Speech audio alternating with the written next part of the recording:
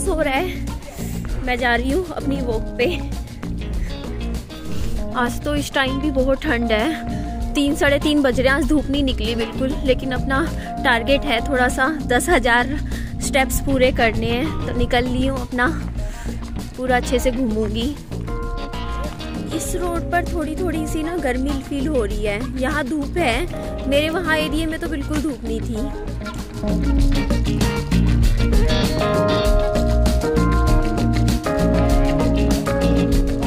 मैं बहुत सारे चक्कर एक साथ नहीं लगाती हूँ। एक चक्कर राउंड लगाऊँगी अपनी कॉलोनी का, फिर मैं वापस घर आती हूँ, विहान को संभाल लेती हूँ, देखती हूँ, उसके बाद फिर एक और राउंड लगाती हूँ। यहाँ मम्मा कड़ी खा रहे थे, उन्होंने बनाई थी, दो कटोरी कड़ी ले ली थी और रात की पूरी आ रखी थी, वो खा रहे थे। और यहाँ मैं मम्मा को मना कर रही थी कि, मम्मा, रहने दो, मैं कर लेती हूँ काम, आप बस बैठ जाओ विहान के पास। मैंने विहान के लिए खिचड़ी बना दी है। अभी सो के उठेगा ना तो खा लेगा। लंच में बस मैं इतनी ही खाऊँगी खिचड़ी। मैंने आप सबसे सपोर्ट मांगा था तो किसी ने मुझे सजेशन दिया था कि ना आप ना अपनी वीडियो के जैसे थंबनेल टाइटल होता है, वो ना थोड़ा सा वीडियो से रिलेटेड रखा करो। एक्चुअली होता तो वीडियो से रिलेटेड है बट मैं थोड़ा सा ना कैची बना देती थी उसको। मतलब बात को जैसे उसी बात को घुमा के लिख दिया। बट मुझे ऐसा लग रहा है कि वो चीज़ ना मुझे नुकसान दे रही है लॉन्ग टर्म में। वो मेरा फ़ायदा नहीं कर रही। चलो ठीक है, वीडियो खोल लेते हैं, लोग देख लेते हैं। बट उससे क्या होता है ना, लोगों को आदत हो जाती है। हम जो चीज़ दिखाएँगे, लोगों को उसी चीज़ की आदत हो जाती है। अब पता है क्या, मैं अगर टाइटल जैसे अब पहले क्या था कि मैं कैची रखती थी, चाहे वीडियो मेरी नॉर्मल भी हो, चलो उसमें कैची बना दिया। तो लोगों को लगता था कि अब तो जैसे अब मैं, अब अब पता है मेरे साथ क्या हो रहा है, अगर अब मैं वीडियो के टाइटल थंबनेल सिंपल रखती हूँ ना तो लोगों को ये लगता है कि इसकी, इस वीडियो में तो कुछ होगा ही नहीं। क्योंकि जिसमें ये इतना कैची लिखती थी, वही इतनी नॉर्मल होती थी वीडियो तो मतलब जब तक ये कुछ ऐसा ना लिखेगी तड़क भड़क वाला टाइटल थंबनेल में, तब तक हम वीडियो नहीं खोलेंगे। मतलब दो साल में मैंने वो आदत डला दी, गलती, मेरी गलती है। पब्लिक को अगर मैं सिंपल ही लिखती ना टाइटल, थंबनेल तो मेरे वो भी चलते और वो भी वीडियो मेरी उतनी ही लोग देखते।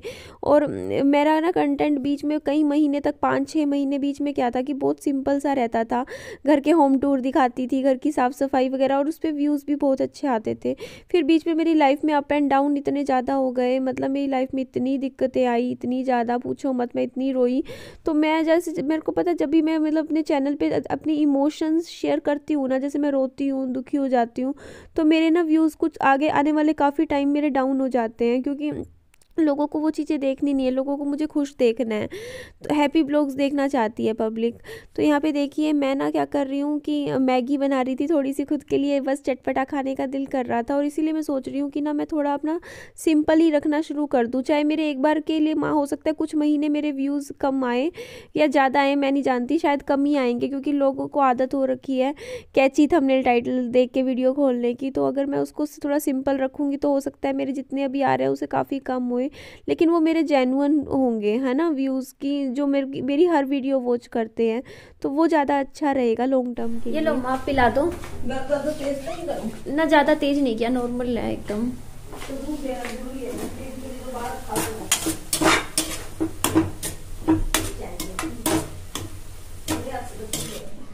मैंने तो मम्मी ये वाली ट्रे ना खाने की लगा दी है कोई मेहमान तो आता नहीं इसी में खा लेती हूँ मैं तो खाना मुझे बड़ी पसंद आती है। तो मैंने दस रुपए का छोटू मैगी का पैकेट बनाया है।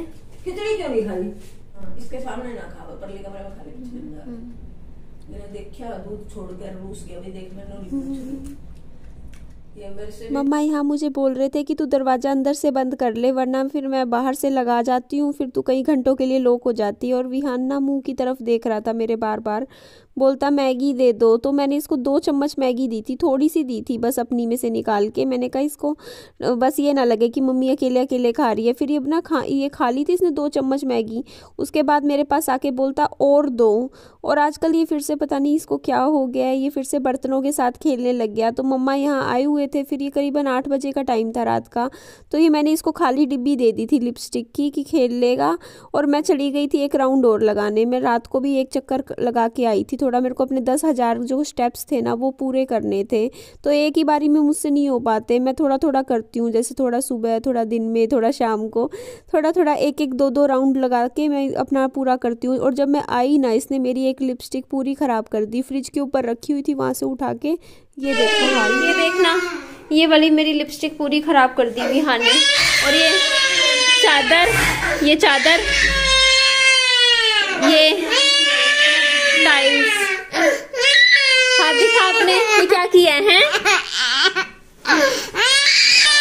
दूसरी तो थी दूसरी वो दूसरी दूसरी दी थी, वो है? वो दी थी वो खिलाना। वो खाली ये रही ये रही।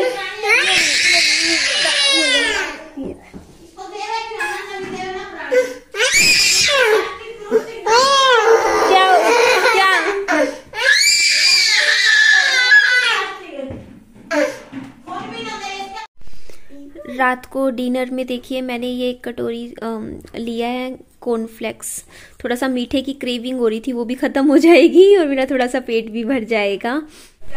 देखो विहान भूखा है, इस टाइम क्या कर रहा है? विहान, खाना खा रहे हो? तो ये देखिए, ये है आलू का पराठा। ये देखो, अपने आप हाथ लेके चादर से खाना खा रहा है। खा लिया? और खा लो। खाओ बेटा, खाना खाओ। हाँ वेरी गुड भूख लग रही है। यू यू यू यू ज़्यादा कर रहा है। तो ये देखिए, ये थोड़ा सा घी है, साथ में लगा के खिलाऊँगी बाबू को। ये पराठा है।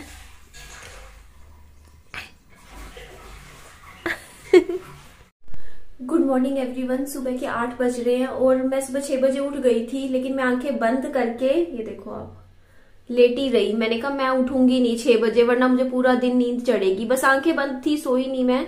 और अभी पता है मैं क्या कर रही थी? देखिए, मैं रसोई में आई थी और मैं ओट्स बनाने वाली थी। ये ओट्स है और ये मैंने कढ़ाई ली थी और उसी वक्त मुझे याद आया, कल मेरे को मेरे मामा जी का मैसेज आया था, बोलते कल बेटा संकट चौथ है मम्मा को भी याद दिला देना। तो अभी मुझे एकदम से याद आया कि आज संकट चौथ है और मैं जा गई थी किचन में भी फटाफट खाना बनाने, खाना खाने।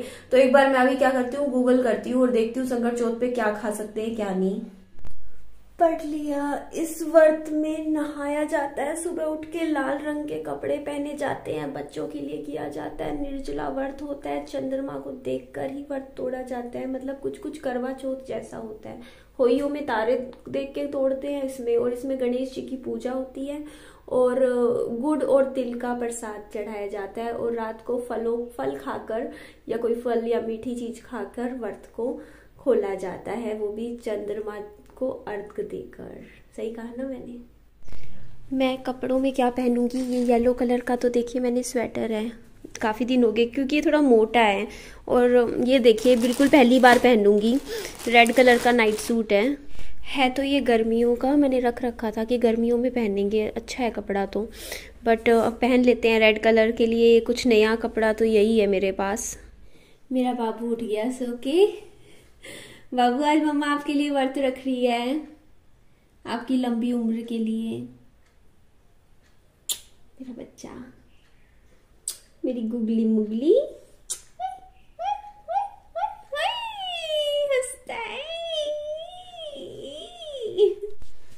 एक बात मुझे आप सबके साथ शेयर करनी थी। आपने बागवान मूवी देखी है? उसमें याद है अमिताभ बच्चन के खुद के चार बेटे होते हैं और चारों बेटे उनके साथ गंदा व्यवहार करते हैं और इन द एंड वो क्या करते हैं? अपनी पत्नी के साथ रहते हैं। मतलब दुखी हो जाते हैं, उनका मन भर जाता है रिश्तों से। उसके बाद वो बच्चे वापिस आते हैं सॉरी बोलने के लिए, लेकिन अमिताभ बच्चन साफ़ कह देते हैं कि ना, मना करते हैं। उन्हें ना तो माफ़ करते हैं, उनसे साइड हो देते हैं और हम अपनी लाइफ अलग निकालते हैं। तो वो चीज़ मैं आपको एक एग्ज़ाम्पल एग्ज़ाम्पल के साथ समझाना चाह रही हूँ कि मेरी ज़िंदगी अब किस तौर पे चल रही है। तो मेरी लाइफ में देखो जैसे वो उन्होंने वो फ़िल्म में दिखाया था ना क्योंकि वो पता है फ़िल्म में कई बार क्या होती है ना ज़िंदगी की रियलिटी दिखाती हैं कि ज़िंदगी में क्योंकि होता है लोगों के साथ चीज़ें कहीं कहीं होती हैं बहुत सी चीज़ें होती हैं। तो मैं बस इतना बोलूँगी कि ना देखो मेरे साथ जिसने भी जो, जो भी बुरा किया उनको तो पता है कि मेरे साथ किया, मेरे साथ गलत किया, मेरे जो माड़ा टाइम था मेरी ज़िंदगी का उसमें मेरे से दूरियाँ बनाई। तो जैसे मतलब वो था ना, जैसे अमिताभ बच्चन का ज़िंदगी में आया कि जब उसके पास पैसा आ गया, वो थोड़ा कामयाब हो गया अच्छा स्टैंड हो गया तो उनके बेटे उनके पास ज़िंदगी में वापिस आ गए थे, है ना? वापिस की मेरी हमारी लाइफ में वापिस आ जाऊँ। तो मेरी ज़िंदगी में मैं अपना स्टैंड आज बताती हूँ कि देखिए मैं कभी भी जितने भी मतलब आज से मतलब दो ढाई तीन साल जो मैंने सफ़र किया है उस उस अपने लाइफ के जो मेरे फ़ेज़ में जिन लोगों ने जो लोग मेरे मन से उतर गए कोई भी हो देखो अगर मैं अब बात कर रही हूँ मन से उतर गए तो जि, ज, जिनको पता होगा जिसने मैं नहीं कह रही हूँ अपनी वीडियो में कि जिसने मेरे साथ बुरा किया ऐसे टाइम में मेरे को परेशान किया सताया तंग किया मेंटली परेशान किया और मेरा साथ नहीं दिया ऐसे टाइम में, मेरे को किनारा किया। जिसने किया होगा, वो तो समझ जाएगा है ना? समझ जाएगा वीडियो में कि मैं किसकी बात कर रही हूँ, है ना? तो मैं जिसकी भी बात कर रही हूँ, वो समझ जाएगा। तो मैं उसके लिए इतना बोलूँगी, बस जो भी वो हो, है ना?